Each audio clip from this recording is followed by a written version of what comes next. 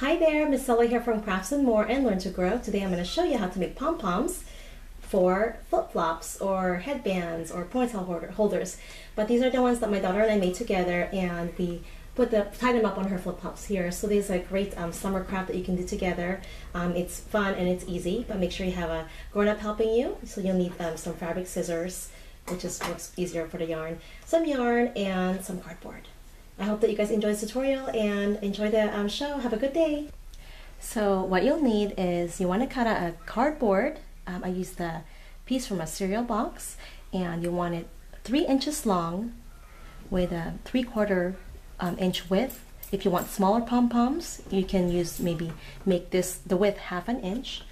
These ones here on my daughter's um, flip-flops, we used this exact size, so three inch by three quarter inch um, width to make these bigger pom-poms and you can secure this um, yarn. You'll be putting lay, um, laying down yarn on top of your cardboard. Oh, you can see that.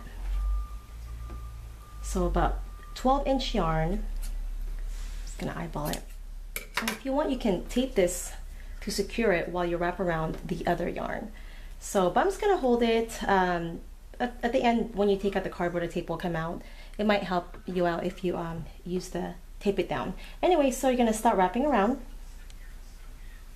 your cardboard here and you'll be wrapping this yarn around uh, 50 to 60 times. If you want a bigger pom-pom, you can wrap it up even more. So when you're done wrapping around, you can cut off the excess yarn. So wrap this around 60 times on this cardboard. And what you'll do is take the ends of your yarn and tie it into a knot. tie this really tightly. Okay, next step is you'll be taking out the cardboard. You want to kind of bend that cardboard in half so it'll slip out easier.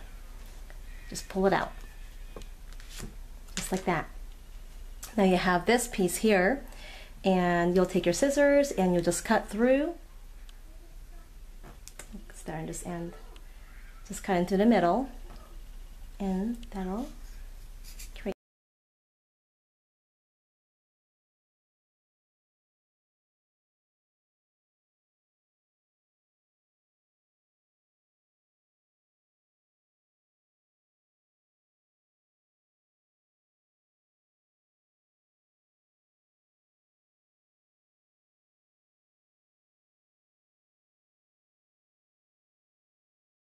So there's your pom-pom.